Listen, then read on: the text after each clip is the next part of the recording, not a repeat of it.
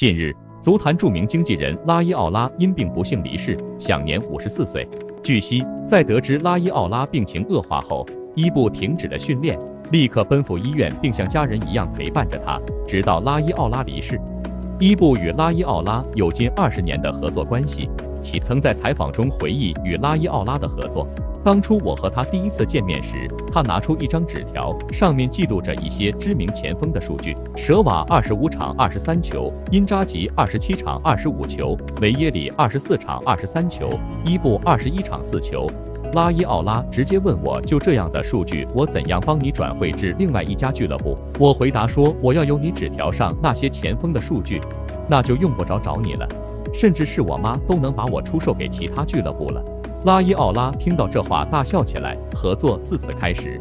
伊布与拉伊奥拉两人之间的感情远远超过了经纪人和球员之间的正常交情，他们都把彼此视为家人。